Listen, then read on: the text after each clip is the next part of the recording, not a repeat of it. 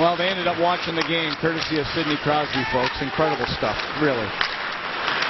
Holzer with a shot down low, and the save made by Fleury, and he had to reach up, find that puck up in the air, and reach into a pile and grab it and hold on to yeah, it. he reached right over six foot four. James Van Riemsdyk, the tallest player. Look at the traffic in front by 21, and he reaches right over his shoulder.